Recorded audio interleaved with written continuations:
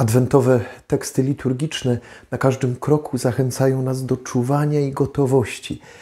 E, Im bardziej zaś o tym przypominają, tym mocniej zdajemy sobie sprawę, że, że to dla nas dzisiaj bardzo trudne. Bo niestety nie jesteśmy ludźmi czuwania, lecz ludźmi zabiegania i nieustannej życiowej zadyszki.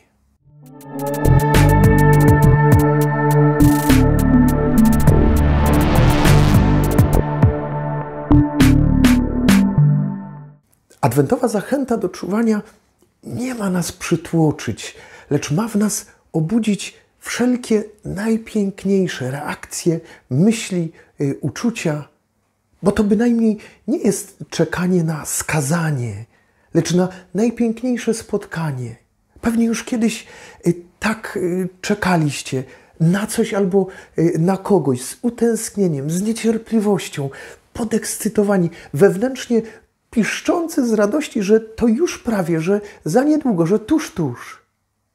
I wtedy sam chcę pachnieć pięknie i szykuję wszystko, yy, co najlepsze. I, I, jeszcze coś poprawiam, i, i cały jestem nastawiony na to, by już z daleka usłyszeć kroki, by odebrać telefon, nacisnąć domofon.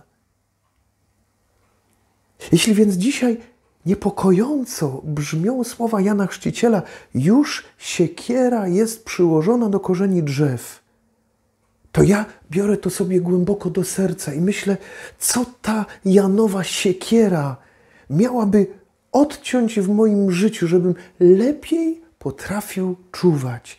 Z czego można by zrezygnować, a świat bez tego się nie zawali?